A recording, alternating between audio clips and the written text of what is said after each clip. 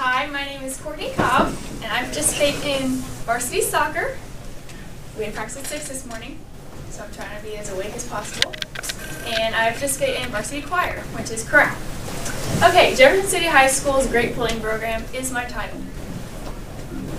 Oh, sorry, wrong. And by Courtney Cobb, me. Um, my idea is Jefferson City High School has a great bowling program, which many students encourage because of past experiences and how safe the students feel when they enter the building. Even though some people think that bullying and harassment policies limit their right to free speech. Okay, so raise your hand if you have ever been bullied. Anyone in this room? Come on, don't be shy. Okay, I have two. And statistics show one out of four kids have been bullied. Also, raise your hand if you have witnessed bullying. Yeah. 56% of students say they have witnessed bullying, which is a big percent. Bullying harassment policies. Pros and cons to it is bullying effect, a pro is bullying affects millions of students. Students should have an outlet to go to if they need help. So if you're being bullied, you should always have, like, you can go to the counselor and say, please help me, because if they didn't have an outlet, they could do things to themselves that would not be good. A con is every time a new bullying or harassment policy is made, it limits a student's right to free speech even more. So students should have the right to say, I don't like this teacher, but there's also a fine line between being rude and being it in general. Um, another pro is bullying is a big problem, and the bullying and harassment policies help us fix it. So no one should be bullied and not be able to, the bully should not be able to get in trouble. I mean, should be able to in trouble, sorry. A con is students regularly face investigation and punishment for expressing different views. Like you can't, you don't, you're not supposed to talk about your religion at school. So that kind of limits the right to free speech. But I can also see why we have that policy because they could get fights. The reason why I chose this is the, reason why students think at JC that there's a good bullying program is because the amount of safety students feel when students walk inside the building. Because I feel pretty much all everyone feels safe when they walk inside the building. If you don't, you can disagree with me, but I think I do at least. Past experiences at other schools, I know that I came from a private school and there I got bullied, and there's a difference from here where you get ISS if someone is bullying someone, and there you're getting five minutes off recess. There's just a different policy there. And also, have students witness bullying being taken care of. You don't just see a principal walk by a student being bullied and just not acknowledge it because they take care of it when they see it. What I've learned through my process of writing my paper and coming up with my presentation, I have learned that by interviewing one of our principals, Mr. Renzi, he said one of our administration's big priorities is making sure we feel safe when we walk into the building. Which I feel it's a good thing that our administration makes sure, makes sure we are safe when we walk inside the building. Students at Jefferson City High School do not allow bullying. If they see it, they immediately report it or walk over and stop it. I know that there's been, when there's a fight, you don't just see people, some people crowd around it, but there's always a person that's trying to stop the fight, or there's the principal that's trying to stop the fight. Um, bullying is not okay and does not make anyone feel good. The victim, the bystander, which is like the person witnessing bullying, or even the bully. It can hurt them mentally for the rest of their life. You, when you grow up and someone does that to you, you're always going to remember that in the back of your head. Like, if you walk into the office, you're going to be like, am I still a loser? Or do I, am I just? Oh, sorry. I apologize. And also, bullying can also hurt students academically, which could also affect them for the rest of their life. So if you're getting bullied and you get Fs because you feel bad about yourself, then colleges aren't going to want you if you apply because of your bad GPA and stuff like that, which is also not good. Um, these are some examples of bullying.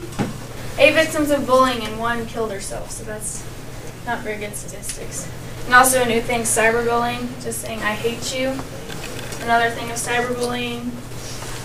Also through texting, it's happened now these days that we say things through texting. Someone laughing at another student at school. Just physically abusing someone.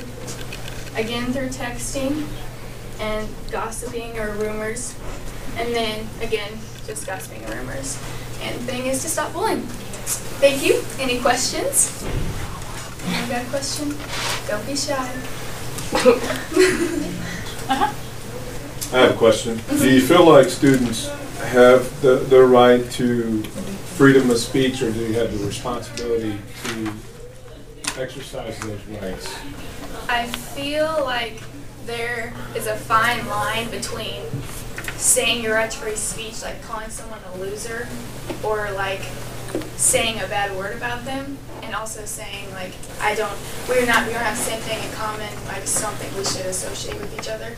There's always oh, always a fine line. If you say you don't like a teacher, you can just say I don't like this teacher, or you can say something that would offend the teacher. So there's always that fine line between there.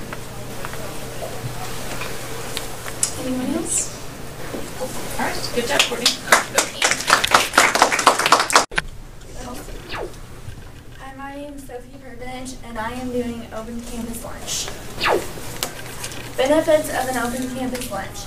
Jefferson City High School should have the option of an Open Campus Lunch because JCHS students could go home or go out to lunch and have the option of healthier lunch choices.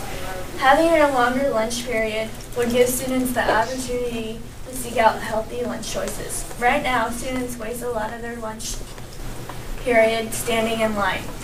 Open campus lunch could result in many positive benefits such as lessons in responsibility, time management, trustworthiness, and healthier eating habits. Freedom to make choices helps students grow and mature. Open campus lunch might also decrease the obesity rate by allowing students to leave campus and select more nutritious foods.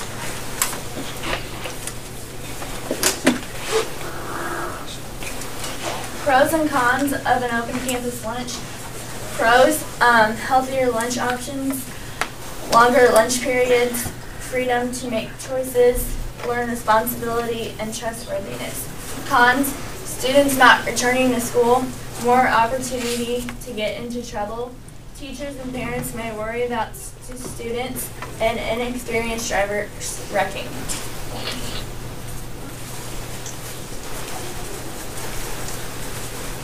What I have learned from this research is an open campus lunch teaches students time management skills, trustworthiness, and responsibility. Happy students makes a happy school, and an open campus lunch just may help the obesity problem. And Jefferson City High School should have the option of an open campus lunch because JCHS students could go home or go out to eat lunch and have the option of healthy lunch choices.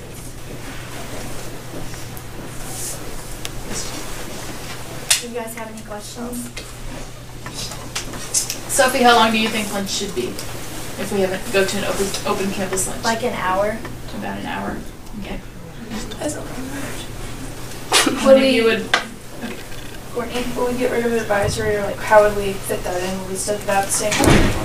It- We would probably get rid of advisory and get out at the same time. Hi, is Chris Sharp in class? Yes, he is. Could you please send him up to the office for a few minutes and he'll return? Thank you. Okay, and would like, we just have academic labs in the morning and like, do go to like different mm-hmm. classes while?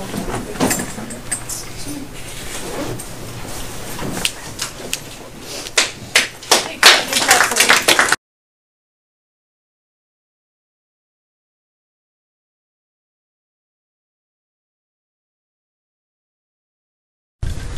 I'm doing passing, um, in between passing time in between classes. And I named it passing time overload because most kids don't have the time. Uh, yeah. Okay, Okay, my thesis was Jefferson City High School should allow eight more minutes for passing time to decrease the amount of parties and absences. I chose this thesis because most kids here recently, they've been getting more tardies than they do absences, which I'm gonna have a graph here later to show that. And they don't have the time for getting there to class, so they get tardies, and if they get so many tardies, they get kicked out for a certain amount of time.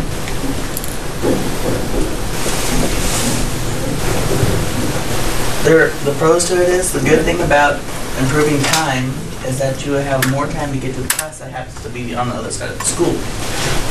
And students will also have time to finish do homework that they have to turn in. And they have time to talk with friends for a little longer.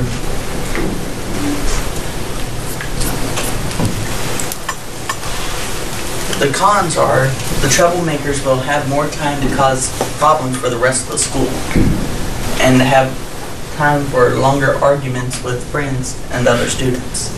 So that if there's an argument going on, they don't have that time to hurry up and get to class to stop the argument. It can go on longer. This chart here shows how the A plus program is bringing the attendance up. Because first in 2007, it was around 29%. And then in 2008, kids, I messed up, sorry. The first, this section here is about how many kids dropped out because they wasn't getting the knowledge they needed. It, the first percentage was at 29%. That's how many kids were dropping out and how many passed. Um, in 2008, with the A plus program, it went up to a 51%, which is a dramatic change from 2007. And then in 2009, it went even higher, up to 72%, which is a dramatic increase. But now this, this here shows how many kids actually passed in that time period. Which, at first in 2007, was at 70% exactly. And then, as, once you guys invented the A plus program, it went up to 2000, or in 2008, it went up to about an 89. And then in the last year, it was just about 95%, which in another few years, because I was able to find the most recent dates, that they might be over the average. So what this ties into mine is that more kids are attending school, but less are gonna have time to succeed because they don't have that time to to class and they get pulled out to the tardies.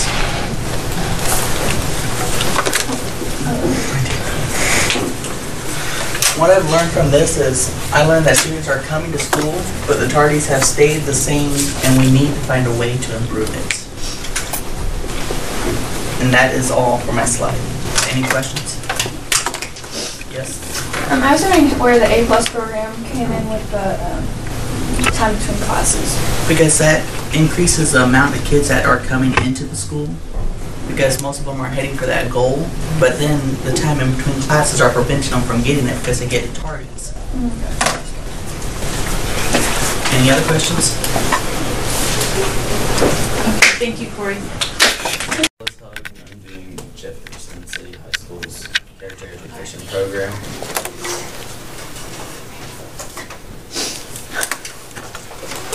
Pros of increasing Jefferson City High School's character education program, it would reduce violence, create a more civil community, improve academic performance, and prepare students to become responsible citizens, and it would create a safer learning environment. The cons of increasing the school's character education program would be it's costly and difficult to obtain full participation between students and teachers, and conflicting values could be ch- taught through it. The character education program that we have now is, oh, sorry. Who can tell me what our character education program is now here at our school? Oh, we had like the word of the month thing. Wait, like, kind of talk about it a little bit in Leslie. So that's all. Yeah, I think. Isn't it like today, um, this month's theme, isn't it like motivation or something? Uh, we switched the month. We did? That was January. Oh, that honesty Yeah. month. Yeah, honestly, Yeah. there you go. Honesty's this one. We talked about it. Yeah, at least I had that one. We had last month and this month. Yeah. And then who knew the sole purpose of advisory was for character educa- education and team building? Kind of. Yeah, kind of. A little bit. And in your student handbook.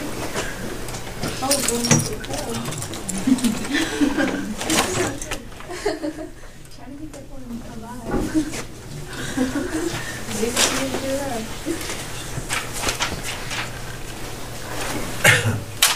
See this? That is the advisory education description. Not even these two paragraphs down, just that one. What page? Page seventeen in your student handbook. You can pass this one. And then this is one of the two sentences that is in it. The purpose of advisory time is to help build a better sense of community among the students, faculty, and staff through character education. Two things that advisory is doing a good job with that. I feel like it's not study hall. I agree. How Jefferson City could increase its character education program. Implement character education programs into the daily classes like your core classes. And then have a curriculum that revolves around character education. And if teachers would advocate the importance of good moral fiber outside of the classroom,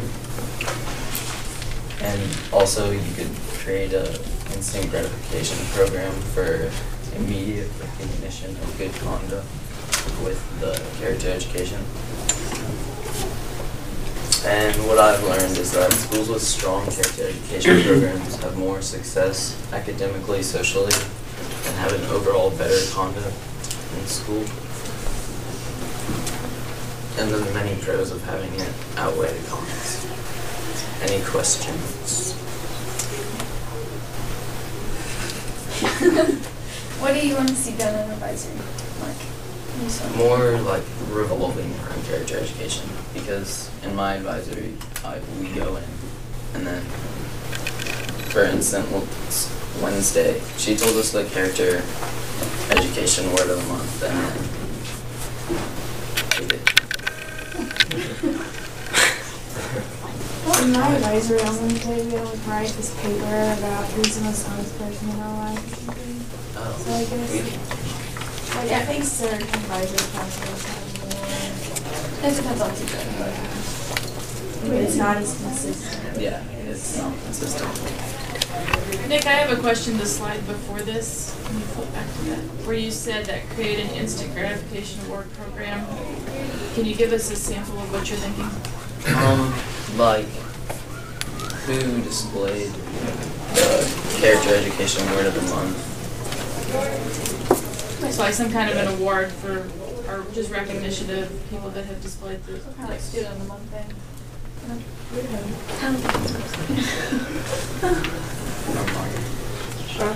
Did you have a question? Oh, you answered it. Okay. any other questions? Good job.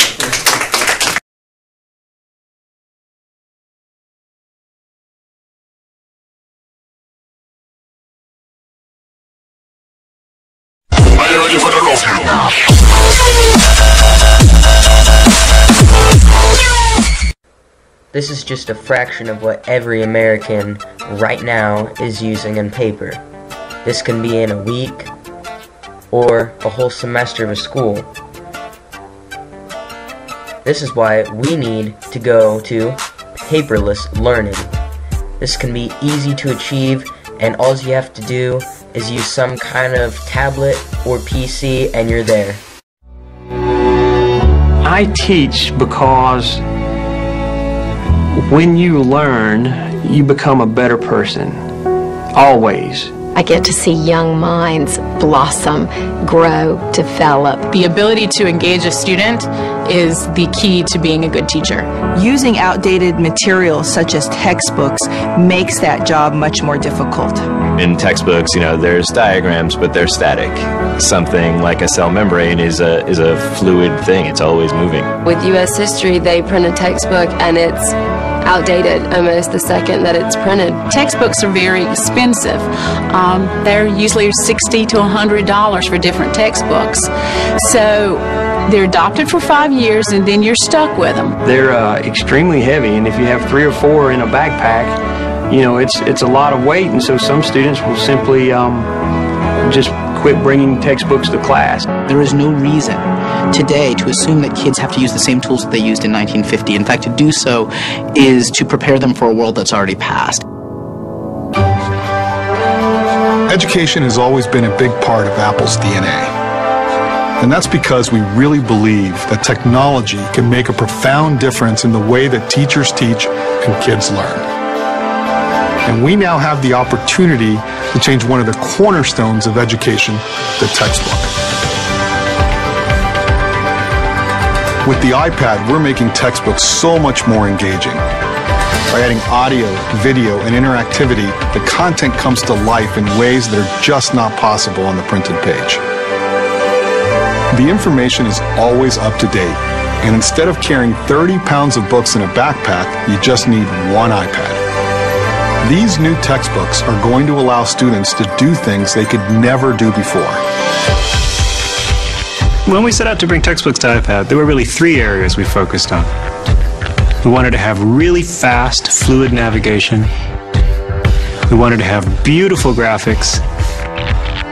And we wanted to create a better, easier way to take notes and use those notes. When you integrate photography, video, audio, interactive objects, and keynote animations right into the page, the material becomes so much more immersive and compelling. And you can do things you just can't do with a static paper textbook. Taking notes is one of the key ways students learn. So we're introducing some amazing new ways to take notes on iPad. When you see something you're interested in, you just swipe over it and it's highlighted. When you want to add a note, you just tap on it and type. And when you're ready to use your notes, you have an elegant study card view. It's all automatically organized for you so you just don't have to think about it.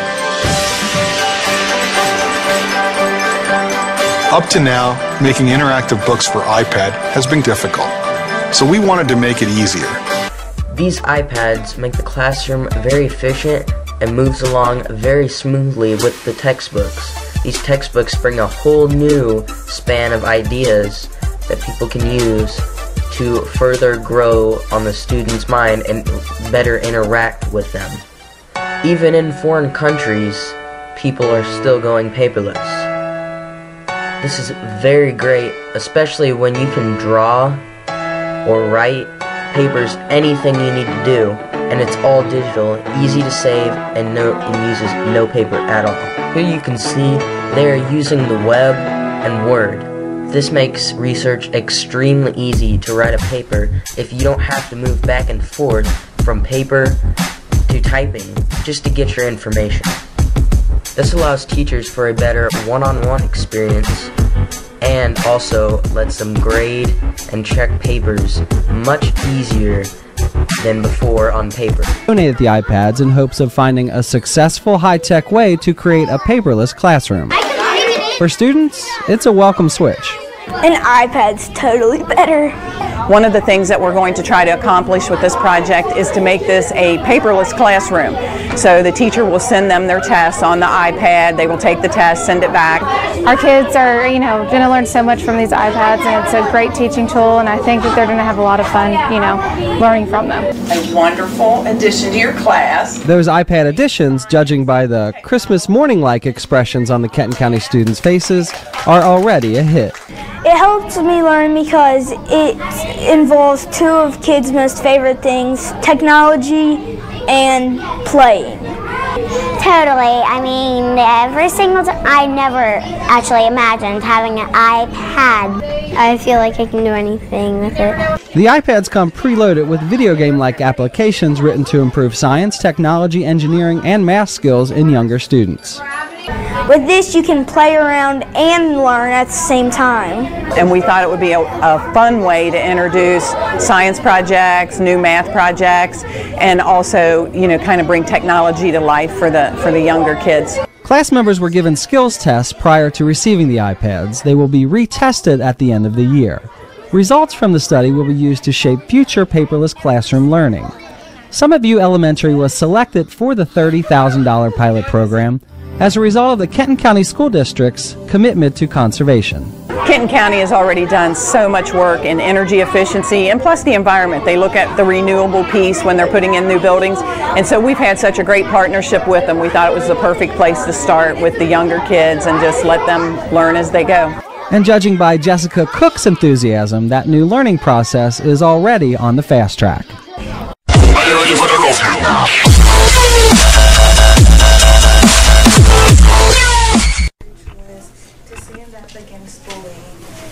I think that Jefferson City High School should definitely continue to promote the anti-bullying policies so that we can reduce the physical and emotional stress that comes to students on a daily basis. because they could lead to more destructive behaviors and that would cause more stress on everybody else around them. Bullied kids are more likely to be depressed, anxious, and suicidal. They struggle in school and they tend to be absent a lot more than the average student. And they're also more likely to carry weapons, get in fights, and use drugs. Anybody can really help against the bullying. All you have to do is a couple of things. You can take advantage of your advisory, speak up about any problems you could be having or anything that's causing you any trouble at all. And if you see someone in the hallway who looks like they're having a bad day or having a hard time, just reach out to them. Like even saying hi or just smiling at them could turn their whole day around.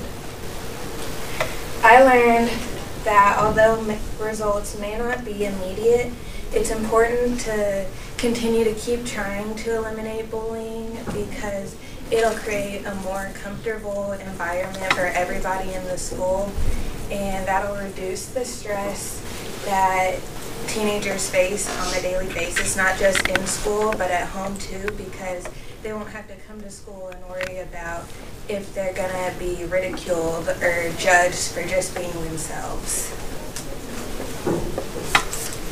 Any questions?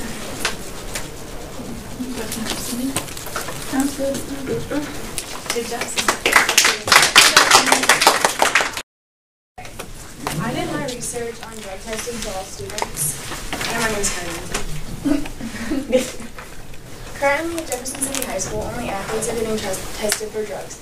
Approximately 12 out of every 2,500 students in the first two years of drug testing tested positive for drugs.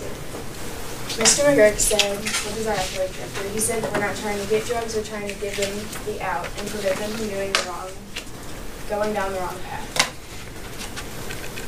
The pros of drug testing. It gives students a reason to say no. Students fear getting tested. Expectations would rise for everyone. Since currently, like, it's only for athletes, then it makes the leaders feel like they have it makes them feel like they have higher expectations because they expect more of them. And drug use throughout the whole entire school would decrease. Regarding drug testing legal issues, people feel that like it invades on their rights. And the cost of the drug testing program is pretty expensive for them to send it off and get it tested and figure out whatever drug they're, whatever the drug that they're using. All students should be doing should be drug tested Jefferson City High School, not just the athletes and leaders of the school. It isn't fair that band, show choir, or any other extracurricular activity does not have to be tested. Hmm. Every student should have equal expectations and treated the same. Therefore, drug testing all students, not just the athletes, should be changed in the future. What I've learned, as time goes on, more and more kids are doing drugs. Drug testing decreases the rates of drug use and makes students want to make better decisions. It is becoming more popular in the United States to drug test throughout the entire school. And students that do drugs tend to go down the wrong path and continue making the wrong decisions in go out of high school. Drug testing is the best possible way to stop the use of drugs.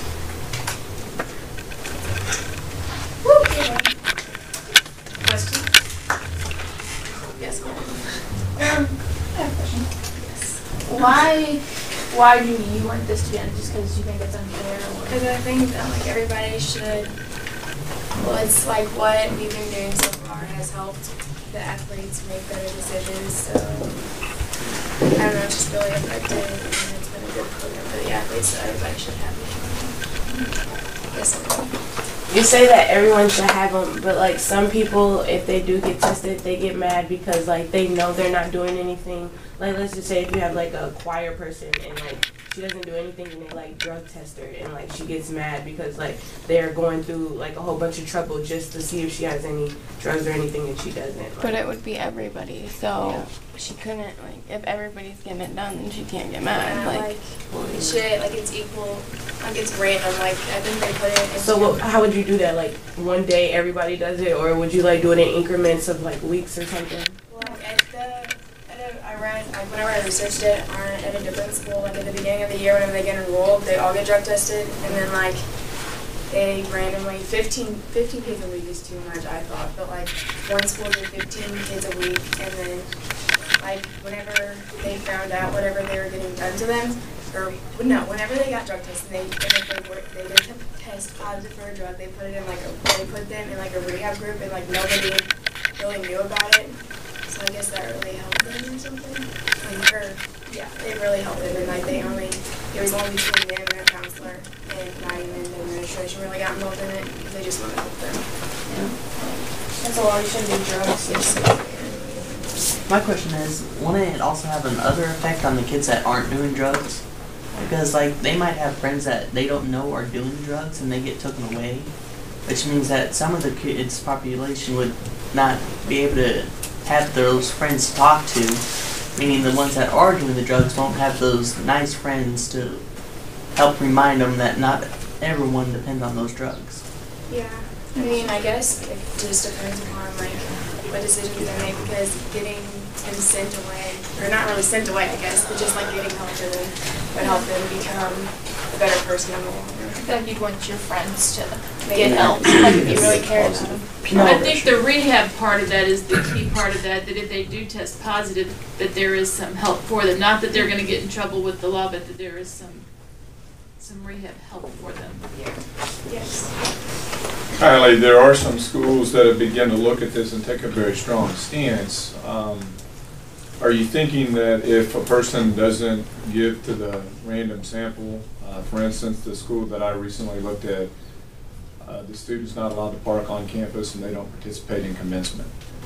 And otherwise, uh, students all test at the beginning of the year, then there's a random selection over the course of the year. Is that the same research that you found with the Yeah, I schools that are testing all students? Yeah, like if they, in order to get like, I order to get like a parking pass, they had to do it. Correct. Or in order to participate in activity or like anything really.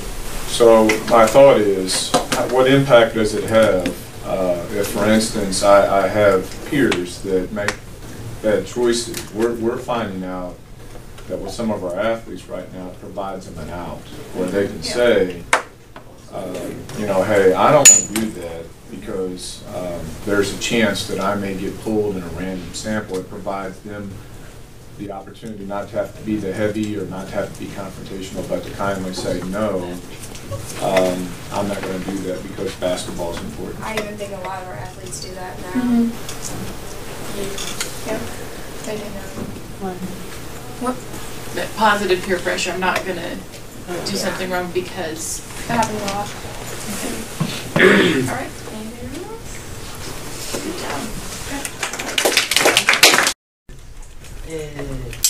Um, I'm Donovan Ortiz and I'm doing school uniforms. Alright, um, school uniforms. Students should not wear school uniforms because uniforms might fuel the students' rebellious spirit and violence might break out due to rival schools. Um, Jefferson City High School. Uh, school uniforms would hide the student's true personality. Without a uniform, a student would be able to dress to the heart's full content. And Jefferson City has a lot of very different styles and colors, which is shown throughout the halls of Jefferson City High School, right here, with the free dress uh, code policy. Um, pros and cons. Uh, some pros, some say that a child in a school uniform is more likely to take the school seriously.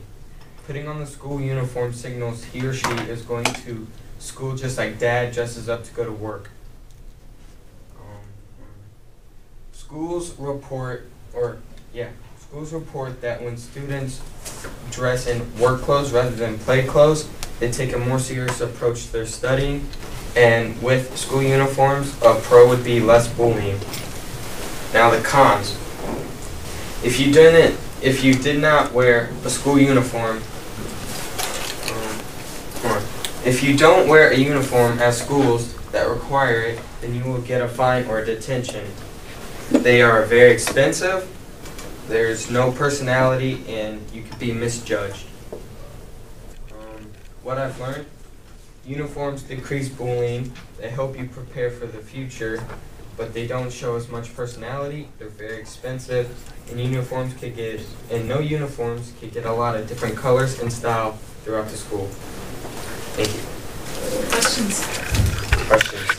Um, I'm confused. Are you for bullying? I mean, not Uh, My no. Are you for uniforms or against uniforms? I'm against these school uniforms. Jaden, did you have a question? No. No. Any other questions? Any other questions? I do. Armani? Do you think that if we did get school uniforms, do you think it would like affect our school in a bad way or a good way? Um, well, if we did get a school uniform, it might be both because some students might not really care if they have to wear a uniform because let's say you want to be a businessman or a woman in the future, you have to wear like, you know, the suit and the ties and stuff. So wearing a uniform now might help them get ready for it later. Corey? I was also wondering, since I have a lot of questions supposedly today, that with this, um, when you do, if we ever go to uh, A the uniforms, what would happen with the parents? Because most parents disagree with it because it does cost more money than just regular shirts and pants. Right. So they might take their kids out of this school and move them to a different one. Because that's what my mom says. She's like, she doesn't want me to go to a public, s- or she wants me to go to a public school so I have more fun and more personality than with someone with uniform. What would you say about that?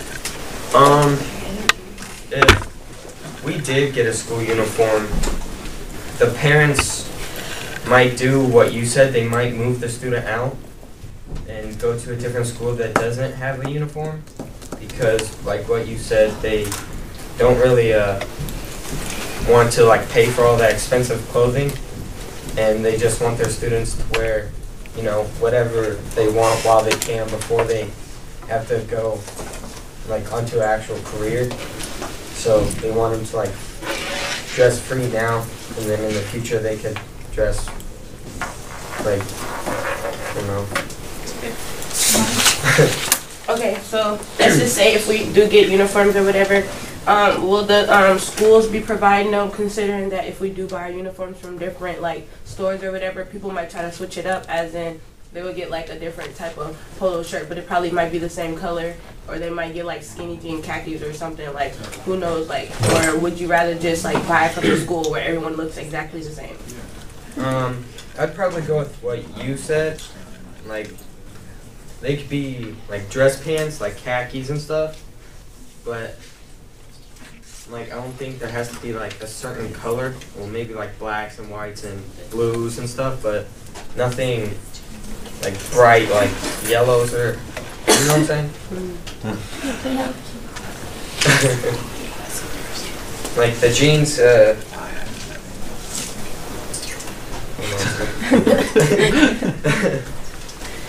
um, Okay. any other questions? All right, thank you.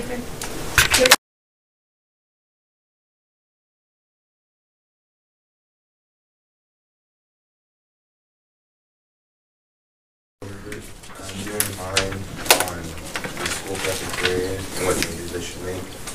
Uh, so the Jefferson City High School should make different stations for different foods and start making the foods from scratch with organic products because students will be able to go through the line faster and food will be more nutritious, even though it will cost the high school quite a bit of money to do this.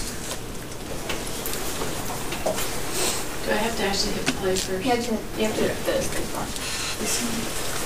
Just the space bar. It's a space bar. should I do? How much actually do they rotate? uh, redesigning the serving area and cooking from scratch. Uh, the high school needs to have different food stations so the students can go get what they want quickly. And JCHS also needs to start cooking from scratch so that the food will be healthier.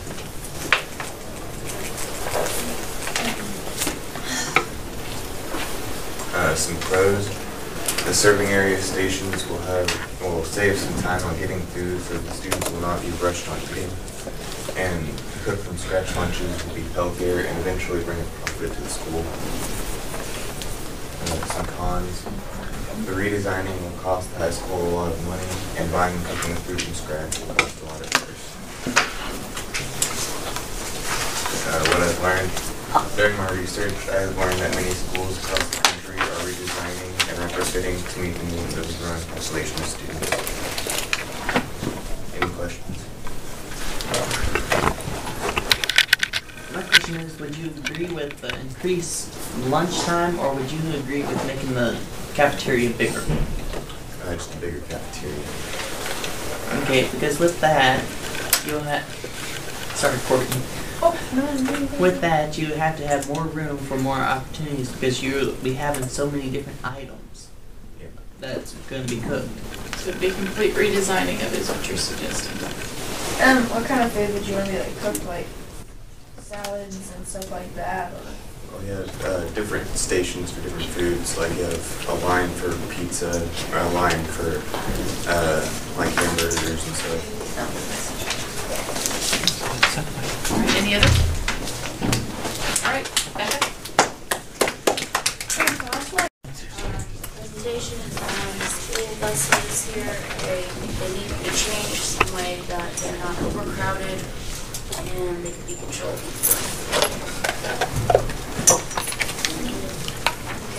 Is a problem on buses, mine is. The National Highway Traffic Safety Administration states that two adult high school student, age students be seated on a thirty-nine inch bus seat. School buses seat three students per seat regardless of recommendations for safety. The average school bus capacity is seventy-two inch, uh, seventy-two students. Um, now, the three per seat rule and is based on elementary, I did research. Uh, The, they,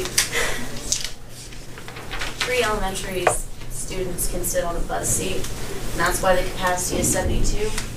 But if you follow the recommendations, as it says, for only two high school students a bus seat, then the capacity needs to be lowered.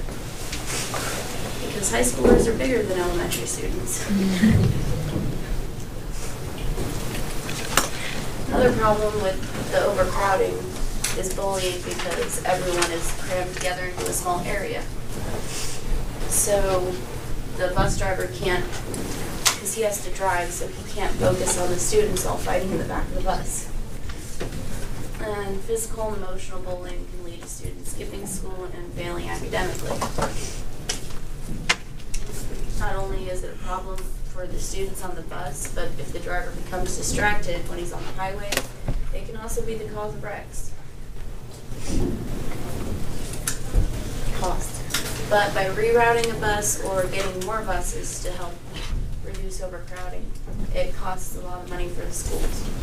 Because by rerouting the buses, schools might have to spend more money on gas or a whole bus.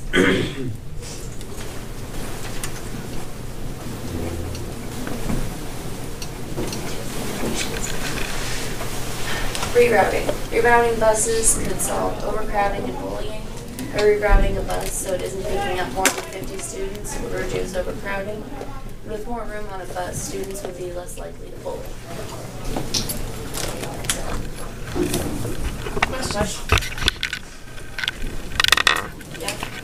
Um, do you think that with um them rerouting, like, do you think they're gonna have to add more buses considering that if you reroute, you're not gonna be picking up the same people and like, if all the buses are rerouting, like, how do you know if they're gonna get exactly everybody that's I mean, because I'm, I'm not sure about all the buses. If they have less kids, then maybe the buses would, that's not overcrowded should go and pick up just a few more students.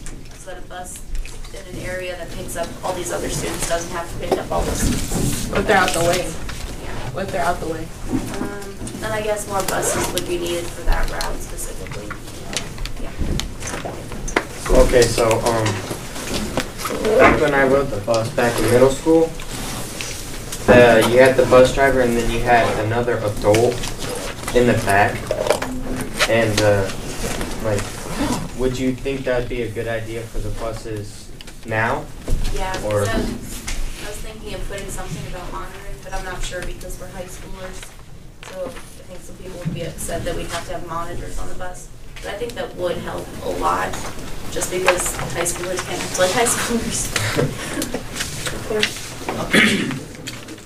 Uh, With that, the school company, or the school, they have a contract with the bus, the bus company, but they only have a certain amount of buses, so they won't be able to. But when one of those buses break down, they have other buses in stock.